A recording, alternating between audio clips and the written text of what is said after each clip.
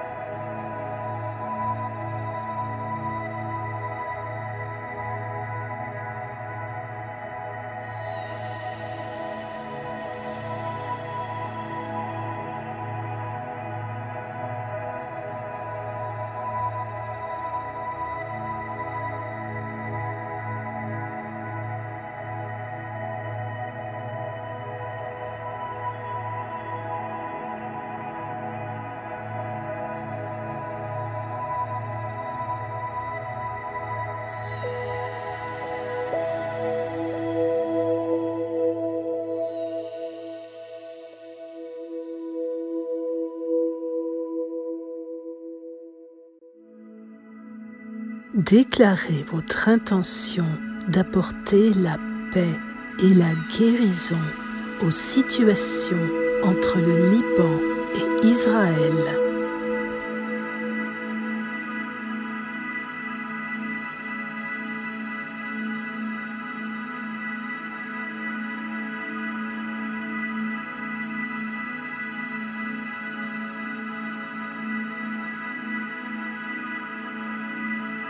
Invoquez la flamme violette à partir de sa source primaire pour placer un cercle de protection autour de vous pendant et après la méditation.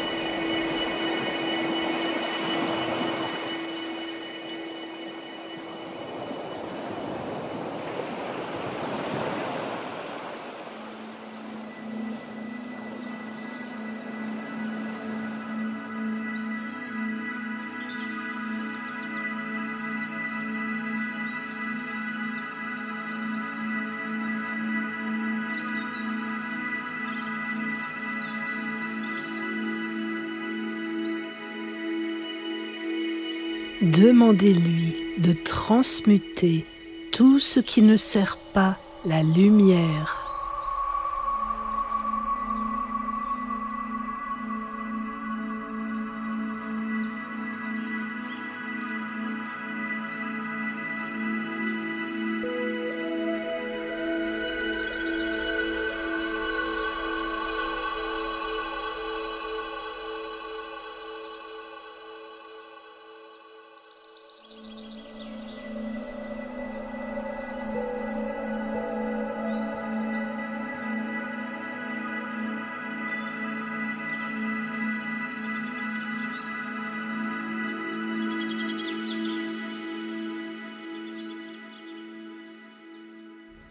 Visualisez un pilier de lumière rose émanant du Soleil central galactique et descendant à travers votre corps jusqu'au centre de la Terre.